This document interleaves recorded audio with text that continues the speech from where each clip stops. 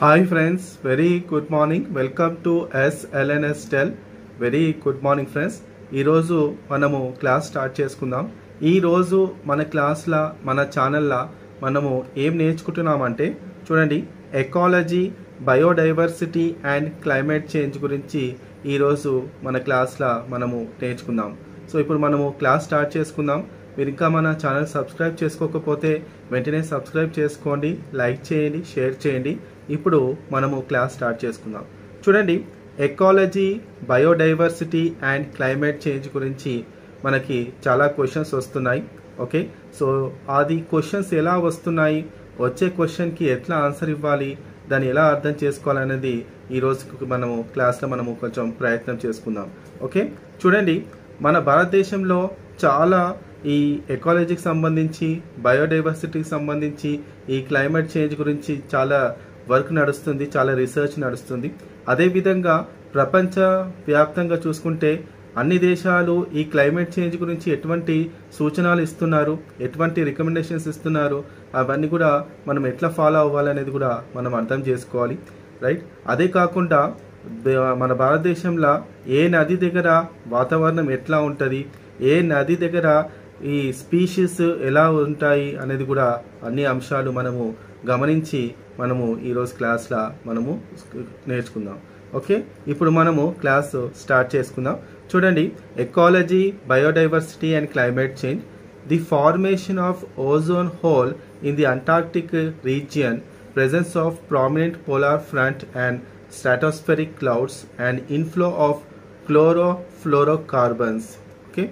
So ఈ the nitric acid in polar stratospheric clouds reacts with chlorofluorocarbons to form chlorine which catalyses the photochemical destruction of ozone okay so ఈ ozone గురించి ఎలా నేర్చుకోవాలంటే ఈ chlorofluorocarbons to form ఈ nitric acid in polar stratospheric clouds reacts with chlorofluorocarbons to form chlorine so ఇట్లా ఈ nitric acid వల్ల మనకి క్లోరైన్ ఫామ్ అవుతుంది రైట్? దాది ఈ ఓజోన్కి హార్మ్ఫుల్ అనేది మనం అర్థం చేసుకోవాలి. Okay? Next the Bhitarkanika mangroves are a mangrove wetland in India's Orissa state. The Bhitarkanika mangroves cover an area of 650 kilometers square in the river delta of Brahmani and Baitarani rivers. Okay? So మనకి question రావచ్చు ఇక్కడనే ఈ Bhitarkanika mangroves ఏ నది తీరాన ఉంది అనే question రావచ్చు. ఈ బితర్కనిక మన భారతదేశంలో ఏ రాష్ట్రంలో ఉన్నదని కూడా ఇట్లా మనకి క్వశ్చన్ రావచ్చు. Okay? Next to qualify as a hot spot a region must meet two strict criteria. It must contain at least fifteen hundred least 1500 species of greater than greater than 0.5% of the world's total as endemics and it has to have lost at least 70% of its original habitat. Okay so అసలు ఒక ప్రాంతం hot స్పాట్గా a బే- base తోటి announce చేస్తారంటే ఆ hot spot సంబంధించిన species అనేది రైట్ ఈ ఫిఫ్టీన్ హండ్రెడ్ అంటే హాట్ ఫిఫ్టీన్ హండ్రెడ్ స్పీషీస్ అనేటివి ఉండాలి. అది ఆ స్పీషీస్ కూడా జీరో పాయింట్ ఫైవ్ పర్సెంట్ అంటే మొత్తం వరల్డ్ పాపులేషన్లో అంటే ప్రపంచంలో చూసుకుంటే జీరో పాయింట్ ఫైవ్ పర్సెంట్ కన్నా ఎక్కువ ఉండాలనేది అప్పుడు ఉంటే ఆ ప్రాంతము హాట్ స్పాట్ అనేది అనౌన్స్ చేస్తారు.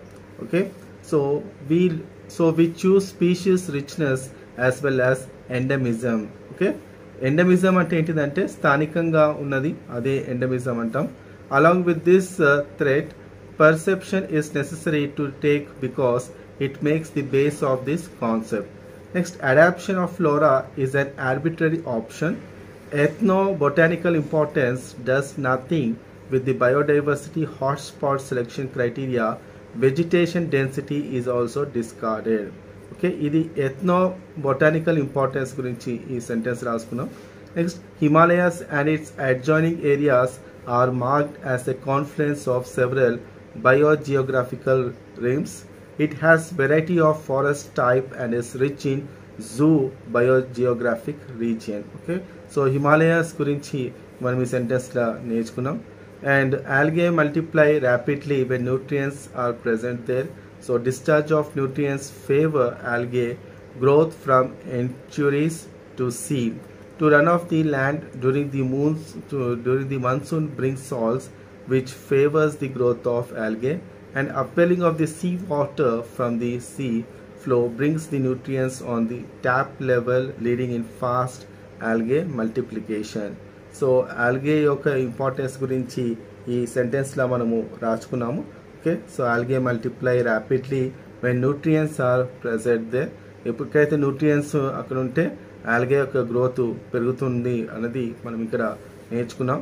Next photosynthesis Photosynthesis by plants removes about 120 billion tons of carbon from the air per year, but plant decomposition returns about the same amount when the organic matter is oxidized through respiration the reverse of photosynthesis takes place okay so ఇక్కడ మనం అర్థం చేసుకోవాల్సింది ఏంటంటే photosynthesis గురించి photosynthesis and respiration rate same ఉంది అని మనం ఈ పాయింట్ల మనము నేర్చుకున్నాం.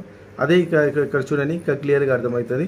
Respiration and photo photosynthesis occur at nearly equal rates over one year okay next volcanic eruptions and metamorphism release gases in the into the atmosphere ఆ gases ఏంటిదంటే volcanic gases are primarily water vapour carbon dioxide and sulphur dioxide okay so అగ్నిపర్వతం బద్దలై బయటికి వచ్చినప్పుడు right primary ప్రైమరీగా మనకి ఏమేమి తెలుస్తుంది అంటే water vapour carbon dioxide and sulphur dioxide okay so ఇది ఫ్రెండ్స్ మనము ఈరోజు నేర్చుకున్నాము కదా బయోకాలజీ బయోడైవర్సిటీ అండ్ క్లైమేట్ చేంజ్ గురించి ఓకే మీకు ఇంకా ఏమైనా అడిషనల్ ఇన్ఫర్మేషన్ కావాలంటే కామెంట్స్ చేయండి నేను రిప్లై ఇస్తాను. మీరు ఇంకా మన ఛానల్ సబ్స్క్రైబ్ చేసుకోకపోతే వెంటనే సబ్స్క్రైబ్ చేసుకోండి లైక్ చేయండి షేర్ చేయండి. ఓకే సో ఇప్పుడు మనం class uh, ఆపేసుకుందాం. Thank you very much thank you for watching